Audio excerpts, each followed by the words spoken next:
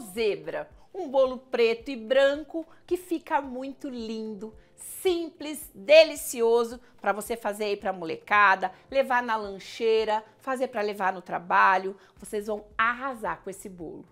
Oi, oi, oi, meus amores. Tá tudo bem por aí? Tá tudo certinho com vocês? Eu espero demais demais que sim, viu? Sejam todos muito bem-vindos ao canal Receitas da Cris. Aqui vocês vão encontrar receitinhas de mãe, receitinhas simples, fáceis de fazer como essa e muito bem explicadinhas para você fazer e dar certo. Vamos começar a preparar esse bolo? Vamos lá. Antes de começar a preparar, liga seu forno e deixa ele pré-aquecendo por uns 10 minutos em 180 graus. Vamos pegar aqui uma bacia, vamos colocar quatro ovos com duas xícaras de açúcar,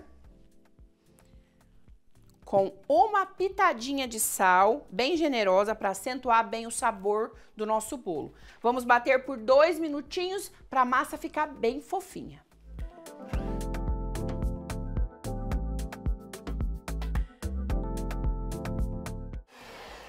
Prontinho, ficou assim, olha, um cremezinho bem fofinho. Agora nós vamos colocar 3 xícaras de farinha de trigo, passei numa peneirinha, a minha não tem fermento. Se a sua já tem fermento, não coloque mais, tá?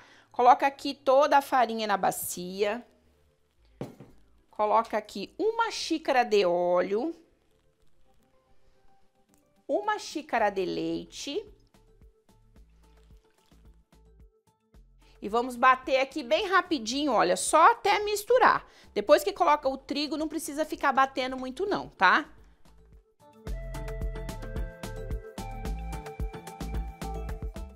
Rapidinho aqui já se misturou a massa. Meus amores, agora nós vamos dividir ela, tá? Para colocar o chocolate em pó.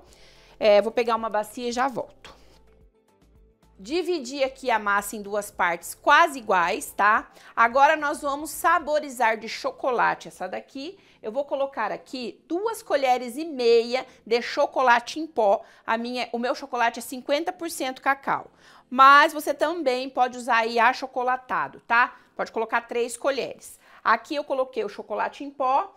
Já vamos colocar aqui o fermento químico para bolos, meia colher de sopa, tá bom? E se você tiver fácil aí, para deixar o bolo mais pretinho, crescer ainda mais o de chocolate, coloca aí uma colherzinha de café de bicarbonato de sódio, tá? Mas só se tiver hoje, se não tiver, tudo bem. Agora eu dou uma misturada aqui, olha, bem devagar.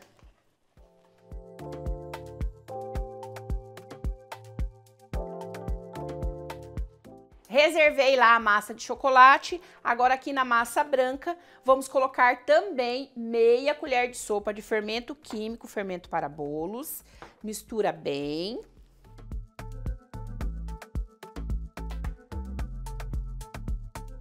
Nós vamos precisar aqui de uma forma redonda média. Se for um pouquinho maior do que essa minha, melhor ainda, tá, meus amores? Passei margarina, salpiquei farinha de trigo e agora olhem só.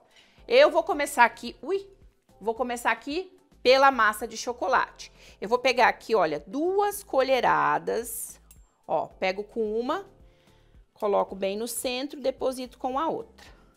Quem quiser fazer com o dedinho, melhor ainda, tá? Ó.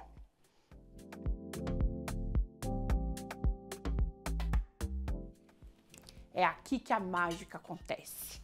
Meus amores, agora vamos lá. Com duas colheres de sopa também, eu vou pegar aqui a massa branca Lembrando que a massa branca é bem mais fácil de colocar, ó. Cuidado para não pingar, tá? Ali do ladinho. E de novo, tá? Vou fazer mais uma vez, depois vou fazer todo, ó. Agora você pega aqui de novo a massinha preta, coloca bem no centro. E a massinha branca mais uma vez.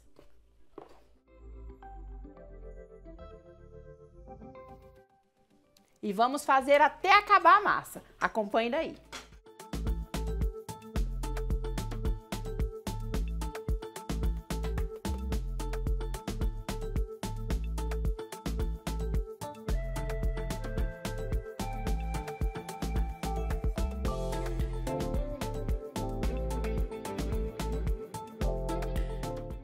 Ai, que lindo que vai ficar, olhem só. Meus amores, então uma dica. Quando você for colocar a massa preta, que ela fica um pouquinho mais molinha, na dúvida, tá? Você vai pegar aqui a massa preta. Ela vai começar a respingar. Então você passa aí na beiradinha da bacia, com o dedinho você vai bem lá no meinho e coloca, tá? Tomem cuidado para não ficar tudo respingado, porque senão ele não vai ficar uma zebra bonita, vai ficar meio que onça, tá bom? E agora nós vamos levar para assar e já volto. Vai ficar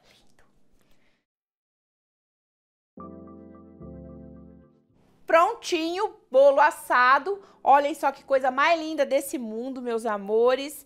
Eu já deixei ele ficar mais morno para poder segurar aqui, né, como vocês estão vendo. Lembrando que um bolo desse tamanho é de 40 a 50 minutos para assar. O meu ficou 50 minutos em 180 graus, porque ele é bem alto, tá? Vai lá, depois de 30 minutos, fica de olho. Se aqui tiver molinho, não desliga. Vai lá, espera mais uns 5 minutinhos. O bolo às vezes afunda no meio, porque a gente desliga ele faltando um pouquinho para assar, daí afunda ali, tá? Mas esse aqui não tá cru nem nada, tá maravilhoso. Eu deixei já morno para desenformar. Posso desenformar direto, né, filho? Pode. Ó, ele tá se jogando aqui da forma, tá? Ah, meu Deus do céu. Não é assim não, gente. É assim, ó. Pega nesse prato aqui, vai aqui. Quem quiser deixar assim desse lado, deixa. Mas eu, né, como sempre, quero colocar aqui num, num prato bem lindão, ó. Vamos cortar? Acompanhe de pertinho para ver se ficou lindo por dentro, para ver se ficou zebra. E deixa eu falar uma coisa para vocês. Se virou tigresa misturada com zebra, misturou aí, não tem problema não. O sabor é o mesmo, tá? Fica gostoso igual. Às vezes na primeira a gente não acerta. Fiquem todos tranquilos. Vamos ver como ficou por dentro.